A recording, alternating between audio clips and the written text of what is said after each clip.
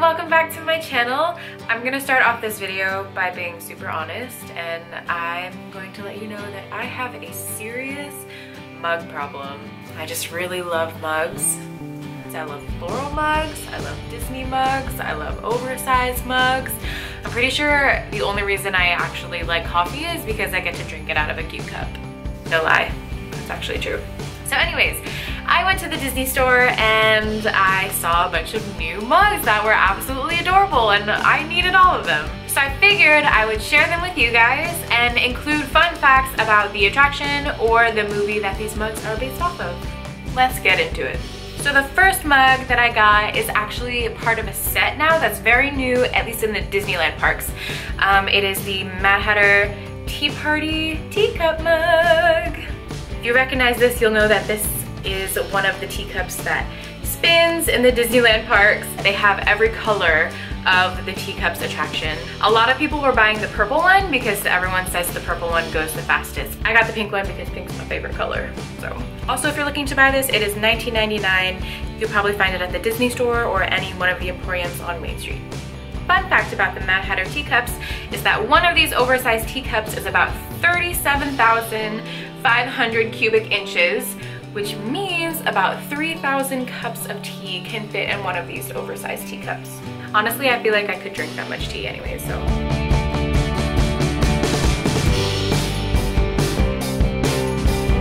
On to the next one. So this next mug is probably in my top three all-time favorite mugs of all time. It is the Spaceship Earth mug. Actually, do you know what this looks like? It looks like a grand and miraculous spaceship. I'm sorry, I had to. So this is meant to look like the big Spaceship Earth ball, or as a lot of guests like to call it, the golf ball.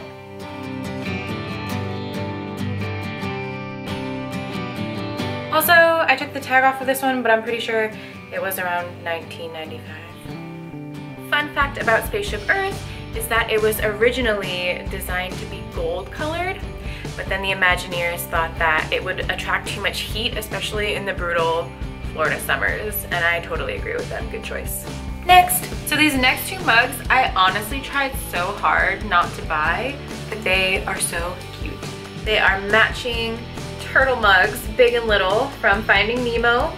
One says Squirt's Little Dude and Righteous, and the other says Crush's Big Dude and also says righteous on the other side. So I figured I could use this one for espresso, and then this one is just a really good size mug. So the little one that says Squirt's Little Dude is $12.95, and the big one that says Crush's Big Dude is $14.95.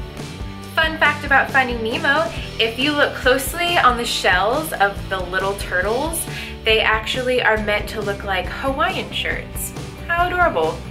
Moving on If you know me, you know that I love Star Wars. Star Wars is one of my main priorities in life, to be honest. So when I saw this, I could not resist.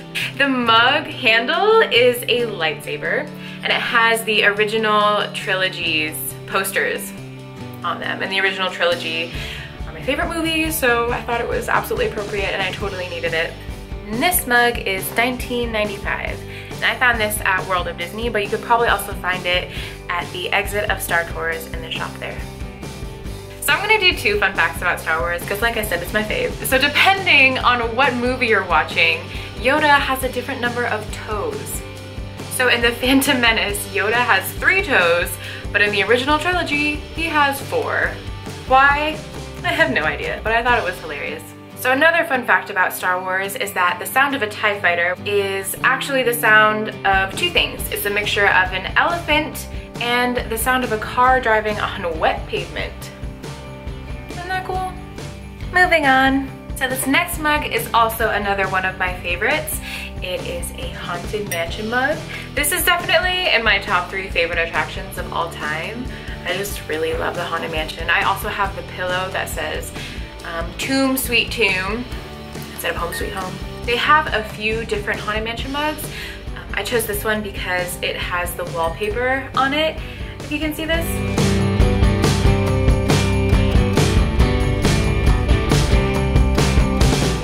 One of my favorites. And this mug was $19.95. You can find it at World of Disney or in Memento Mori, the Haunted Mansion store. So fun facts about the Haunted Mansion.